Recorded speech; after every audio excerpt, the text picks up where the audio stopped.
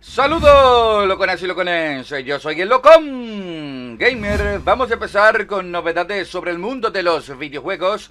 Vamos a empezar con CD Projekt, que deja claro que Cyberpunk 2077 no va a tener demos. Le preguntaron por Twitter un usuario si va a tener demo. Ellos dijeron que no, que no va a tener demo. Realmente no recuerdo si algún videojuego de CD Projekt ha tenido demo. Y realmente yo creo que no lo requiere, aunque hay gente todavía que tiene dudas, no le gustaría, porque no le convence esto que sea primera persona. Ya por eso mucha gente lo va a dejar de comprar, según lo que he visto en los comentarios, o pasarán de él simple y llanamente porque es primera persona. Pero nunca CD Projekt realmente ha tenido demo en sus videojuegos, entonces creo que no lo van a hacer, lo indican que no lo van a hacer. Yo realmente confío plenamente en CD Projekt, pero hay que ver el otro punto de vista de la persona indecisa, de la persona que le llama la atención, pero le gustaría probarlo, a ver si esto realmente le agrada, del primera persona. Entonces, se entiende por ese lado. Y realmente es complicado hacer una demo de este tipo de videojuego open world. Nada, si tiene dudas, mire gameplay, vaya viendo, no se lleve de Metacritic, no se lleve de los usuarios, puede tener 10 de 10 por los usuarios y por la prensa, algo que sería imposible, pero es un ejemplo, aún así asesórese bien, vea bien si le convence o no, y ahí usted decide si comprarlo o no. Ahora pasamos con el simulador de vuelo de Microsoft que ya tiene fecha de lanzamiento y saldrá el 18 de agosto. Miren ese tráiler, miren esas imágenes, realmente impresionante este videojuego Creo que es el videojuego con mayores gráficos que he visto en mi vida, lo que es este simulador de vuelo. Realmente es lo más fotorrealista que se ha visto a día de hoy, que sea jugable, algo que realmente sorprende mucho y es un simulador que va a durar muchos años, por eso tiene lo que tiene, claramente tiene el poder de la nube también detrás, pero se ve impresionante lo que es este videojuego y todo lo que tiene el videojuego no solamente es gráfico, sino la tecnología que tiene este videojuego en cuanto a esto del viento, la lluvia, todo, todo el que sepa esto de vuelo me va a entender, tiene todo eso de manera real, porque es un simulador de vuelo, señores. Hay gente que podría practicar aquí y fácilmente podría volar un avión. Para que sepa, ¿eh? no estoy diciendo algo descabellado. Claramente se vio una película y un sujeto jugando PlayStation 2, un simulador ahí, no sé qué juego era, pudo volar un avión. Imagínense con este videojuego. Claramente lo podrá volar también. Señores, estoy bromeando, pero si una persona puede practicar y se puede desempeñar más o menos eh, con este tipo de simulador que lo van a usar para pruebas de piloto, también para esto de aprendizaje, este tipo de videojuego lo verá en escuela de aviación, porque son simuladores. Entonces que llegará el 18 de agosto a 4K, se podrá jugar a 4K. Me imagino que el que lo pueda jugar a esa resolución con esos gráficos todo en ultra estará ante un videojuego muy fotorrealista, el más fotorrealista hasta el momento que se ha desarrollado. También estará disponible para Game Pass, solamente llegará a PC de momento. Ahora pasamos con Assassin's Creed Valhalla, que no va a tener las típicas misiones secundarias. Te sube una atalaya, el mapa se destapa y te dice, no todas las misiones secundarias muy repetitivas de todos los Assassin's Creed.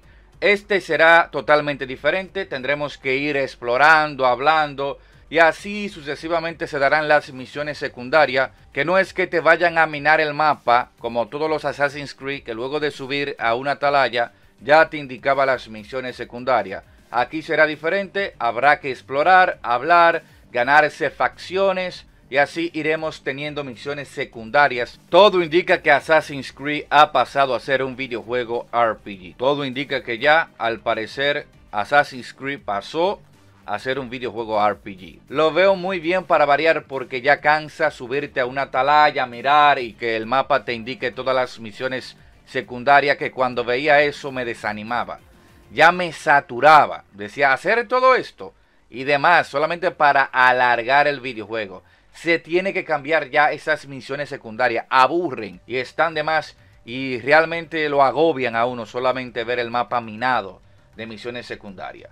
Por otro lado, tenemos que podremos cambiar personaje de mujer a hombre en cualquier momento, en el momento que queramos. Y esto lo veo una estupidez, porque si tú coges, por ejemplo, a la mujer y luego cuando quieras lo cambias al hombre, lo veo algo estúpido en la historia. Esto al parecer es, lo hacen, ponen, ya saben, una mujer porque hay que ponerlo. Entonces no quieren liarse como pasó en Assassin's Creed Odyssey, que había una misión o había algo que encajaba más con Cassandra que con el hombre. Y supuestamente el cano era Cassandra y hubo un lío con esto. Mucha gente se quejó. Ahora lo que te ponen es para salir del paso. No, no. El canon es, no importa. Hombre o mujer, tú lo puedes cambiar en cualquier momento. Yo creo que esto jode la historia. Yo creo que sí, porque si tú coges un personaje femenino, masculino, tiene que cambiar algo. No que tú puedas cambiar de un momento a otro. Oh, quiero la mujer. Oh, quiero el hombre. Yo lo veo algo desacertado esto. No sé usted pero es lo que yo pienso. Ahora pasamos con imágenes que se han filtrado de Far Cry 6 y se ve impresionante. El videojuego me gusta, se ve claramente que es una isla del Caribe, se parece mucho a Cuba y realmente este videojuego se ve interesante. Muy interesante, me gusta la saga Far Cry, a mí me encanta esta saga, aunque ha sido repetitiva, se abusa. Aunque mayormente siempre juego la saga principal, el 3, el 4, el 5, que lo compré el 5, está tirado de precio muy barato. Por cierto, también el 3 lo tenía, pero lo tenía en una cuenta de Steam, no sé, no sé lo que pasó, volví, lo compré, está a 3 dólares. Realmente muy buena se rebaja de la saga Fight Cry, si no la ha jugado es muy buena. La saga, aunque puede ser algo continuista, pero si usted juega la serie principal, 3, 4, 5, Realmente no notará tanto el continuismo, aunque sí se puede notar, pero ya si juega el New Down, si juega el Prima, ya ahí se agotaría. Si no, si usted juega la saga principal, sería mucho mejor. Entonces, que lo mejor del evento de Ubisoft ha sido este videojuego con un tráiler. Y ahora salen las imágenes. Claramente se ve impresionante, se verá muy bien el videojuego. Y más en esta ambientación se verá espectacular. Y nada, ya veremos cuándo se presentaría un gameplay. Supuestamente Ubisoft hará otro evento para presentar más cosas. Así que atento eh, con esto que Ubisoft podría presentar un gameplay ya de Far Cry 6. Entonces muy bonitas las imágenes, me ha gustado lo que he visto. Ahora pasamos con Kojima, que estaba, ya saben, en una entrevista con Jeff Kipley, que claramente se le ve una admiración, ¿no? Por Kojima. Entonces este dice que él no predijo la pandemia porque el videojuego da a entender como la situación de ahora, de tener como una cuarentena y todo esto, ¿no? Él dice que él no es ningún profeta, que él no predijo la pandemia, que si hubiese sido un profeta hubiese hecho un videojuego que tuviese mejores ventas que The Stranding. Se está como riendo, pero dice la realidad. Este título no le fue bien. Ha sido el mayor fracaso de Kojima en toda su historia como, como creador de, de videojuegos, ¿no? Y creo que lo último que dijo, si mal no recuerdo, es que tenía un gran proyecto y se lo quitaron. Entonces ya por el fracaso de The Stranding, mucha gente duda de la capacidad de él y realmente para ponerle fondo en manos para un videojuego. Entonces yo creo que él tiene que irse a lo seguro. Si The Stranding hubiese sido una especie de Metal Gear, como por ejemplo futurístico y esto, con más acción y este tipo de cosas, hubiese vendido un montón, pero al ser un videojuego donde la novedad es caminar y todo esto, realmente a mucha gente no le gusta y no tiene tiempo para eso. Tal vez en PC le den una oportunidad, le pongan mods donde le agreguen muchas más cosas y así hagan que el videojuego venda más y tenga más novedades más allá de caminar y hacer todo este tipo de cosas que tiene el videojuego. Pero bueno, él mismo se ríe de él y se ríe de las ventas de The Stranding, aunque lo dice irónicamente. Ahora pasamos con este tráiler espectacular de Ghost of Tsushima, lo nuevo de Soccer Punch, que sale este mismo mes.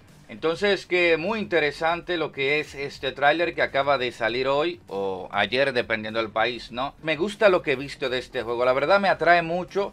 Creo que será el mejor videojuego del cierre para PlayStation 4. Una gente elegirá de las sofás parte 2, pero yo creo que este será realmente el videojuego que cierre con broche de oro a PlayStation 4. Entonces que también se ha filtrado los árboles de habilidades. Ahí lo veré en pantalla la imagen donde se puede ver eh, con esto del sonido. Parece eh, golpe de sigilo. No sé, espada, comida. Bueno, se puede ver algunas cosas ahí. Lo demás está como con candado. Que no está desbloqueado. Y muy interesante lo de este videojuego. Ataque, defensa, utilidad. Se puede ver este tipo de cosas en este árbol de habilidades de Ghost of Tsushima. Y nada señores, a esperar este videojuego que lo vamos a jugar en este canal. Así que atentos, lo jugaremos de salida y a ver qué tal este nuevo videojuego de Soccer Punch. Pues bien, hemos terminado con estas novedades sobre el mundo de los videojuegos. Me escribe en los comentarios qué usted piensa de todos los temas que hemos abordado. Todo en los comentarios. Si te gusta mi canal, si te gusta mi contenido, te invito a que te suscribas. Yo soy el con Gamer, digo hasta luego me quité aquí. A loquear por ahí, hasta la próxima, locones. Mmm, bye.